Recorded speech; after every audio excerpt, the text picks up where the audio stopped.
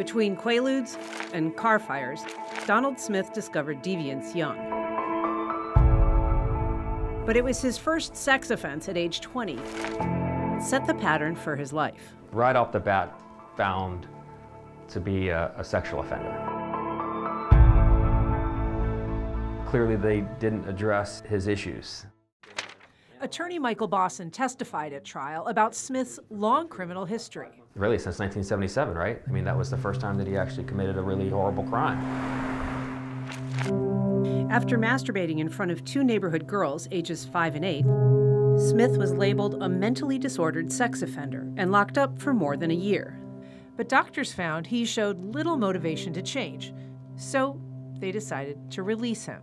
If that doesn't make sense, the official explanation won't help.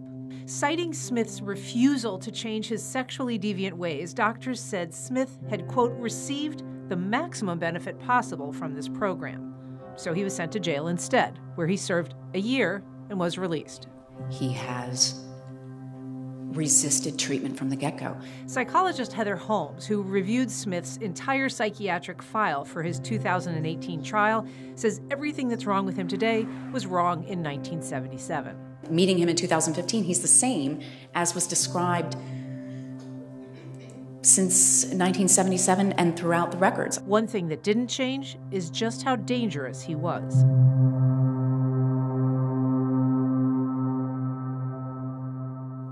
He he told me to get the fuck in the pan. Doctors who recommended Smith's release had warned he remained a danger to society and was highly probable to offend again. And he did with Carrie Ann Buck in 1992. He looked at me like he was going to kill me.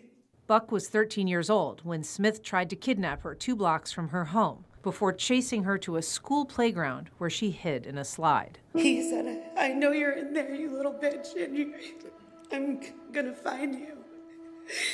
Later that day, Smith tried to lure two other girls into his van. That's a face I'll never, never forget. I see his face every time my kids go outside to play. Convicted of the kidnapping, Smith could have gotten life in prison, but ended up serving just six years. He got a lot of breaks. He also slipped through the cracks. Uh, semen on his chest and KY lubricating jelly on his hands. In this 1998 case, police found Smith in his car, his pants unbuckled. Along with a bottle of vodka and a bottle of urine, police found drawings of penises, along with a note that said, I want to see you hang by your neck. Again, pretty alarming. Disturbing as the case might sound, nothing came of it. Mark Caliel, who prosecuted the Cherish Perrywinkle case, had never even heard of it. I mean, given all of the attention this case has had, you know, I had never heard about that either. Right, and neither did I. I, in my review of, of all of his history prior to me testifying at the trial, I did not come across that as well. One reason the case may have gotten buried is because it's classified by the court system as a traffic crime. Also, around that time, Smith was getting arrested and released constantly.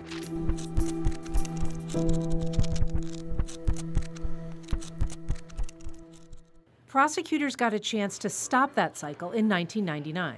That year, a new law began allowing prosecutors to permanently confine sexual predators. And local prosecutors filed the paperwork to lock Smith away for good. But three years later, the state dropped the case. Prosecutors noted that Smith, at that point, hadn't physically harmed his victims. In exchange, Smith agreed to undergo chemical castration and attend therapy. But within a month, he already wasn't complying. His doctor sent an urgent warning to prosecutors saying that Smith posed, quote, a clear present and future danger to children and the community. But nothing was done. The decision to let Smith off was later ridiculed by State Attorney Melissa Nelson when she reviewed that disposition statement during the Cherish Perrywinkle case. Wow, that is doctored up. Her comments can be seen on this document obtained exclusively by First Coast News the questions like, what is that? And questions like, seriously? Question mark, question mark. What? You know, so there's a lot of pushback from whoever wrote these comments. Boston didn't know that Nelson wrote the comments, but he says they raise legitimate questions. Or why the prosecutor chose at the time not to just pursue it through the, the jury and let the jury decide, I, I don't have an answer for. That's a great question. And it wasn't just attorneys that let Smith off the hook.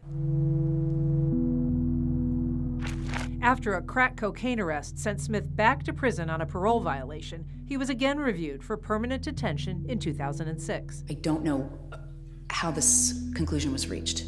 This time, the doctor said he didn't qualify. I was just exquisitely surprised. The doctor who evaluated him agreed with every other doctor in Smith's past that he was a mentally disordered sex offender. But when it came to permanently confining him, he said no. I wondered if it was a typo at the end that said he did not meet criteria.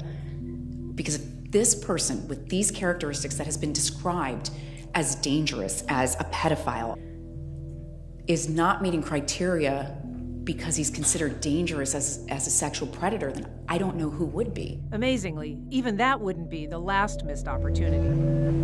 I tell him I'm outside. Then he says, Do you wear bras? And I said, No, but I got some. Then he asked me if I had hair on my private, and I said, No. Christina Hand was 10 in 2009 when Smith called pretending to be a child abuse investigator. He wanted to examine her, he said, to see if she'd been sexually assaulted. I mean, it's kind of scary that it all happened. Now 19, she remembers her grandma agreeing to drive her to McDonald's to meet Smith. Luckily, her mom intervened and called police. They ended up going out that night and finding him, and they busted his nose. I can remember that. Smith could have gotten 30 years if the case had gone to trial. But Hand's mother was reluctant to put her little daughter on the stand, and prosecutors made a deal. After two years in the Duval County Jail, on May 31, 2013, Smith was released. Three weeks later, a final missed opportunity. Jackson, I one Robinson. The night Cherish Perrywinkle was killed. I think my daughter's been taken, taken by a stranger. Called to a Northside Walmart at 11 o'clock at night, police initially dismissed the child abduction as a custody dispute.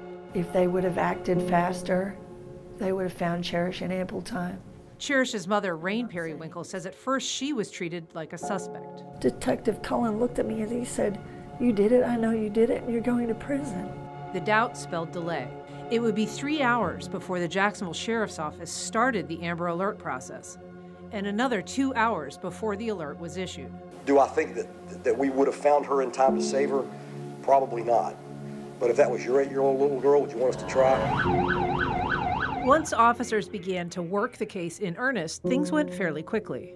Police found the van the next morning, arrested Smith without incident, and began an investigation that ultimately landed him on death row. They also found Cherish Perrywinkle, or rather, they found her body, stuffed under a log in a tidal marsh, her long hair floating in the water. You have the following rights under the United States Constitution. You do The not story's end was saying- tragic, and tragically unsurprising. It's been present throughout the past, gosh, 40 years. In fact, you have an opinion that he is of the most dangerous sex offenders you have ever evaluated. Yes, he is. Definitely tells throughout the, the course of his conduct that this guy was a pretty seriously sick individual. Go to the dictionary and you look up sexual predator, Donald Smith's picture is going to be right there.